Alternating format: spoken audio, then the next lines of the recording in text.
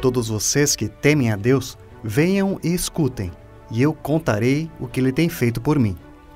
Salmo 66, 16.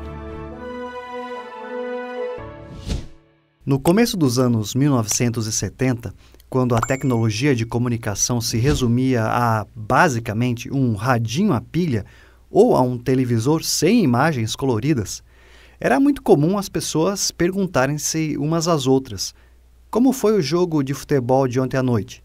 Ou o que aconteceu na novela das 8 horas? A pessoa que tinha o privilégio de ouvir o jogo pelo rádio ou assistir ao capítulo da novela no televisor passava a contar todos os detalhes do que ouviu ou assistiu. Bem, até hoje gostamos de contar as novidades para as pessoas à nossa volta. Isso em si não é algo ruim. Uma pergunta, porém, que não quer calar é: tenho contado o que Deus tem feito por mim? O autor do Salmo 66 fez o convite, escrevendo o seguinte: Todos vocês que temem a Deus, venham e escutem, e eu contarei o que ele tem feito por mim. O salmista apontou para os cuidados de Deus ao alcance mundial, nacional e também individual. Eu tenho contado o que Deus tem feito por mim? Como Ele me criou, salvou, santificou e como continua operando em minha vida?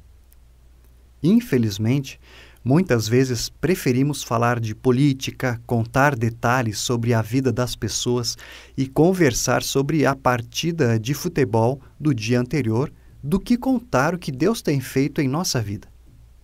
Isso mostra como o pecado nos afasta dos santos propósitos de Deus, merecendo por isso a sua justa condenação. No entanto, nem por isso Deus nos nega o seu amor.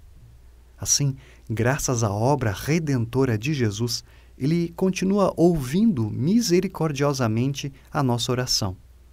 Agradecidos e alegres por causa do amor de Jesus, não guardaremos essas bênçãos apenas para nós mesmos, mas as contaremos a todos que encontrarmos pelo caminho. Oremos. Senhor meu Deus, Graças te dou por não me negares o teu amor e por ouvires a minha oração. Motiva-me a contar para todas as pessoas os teus grandes feitos também em minha vida. Amém.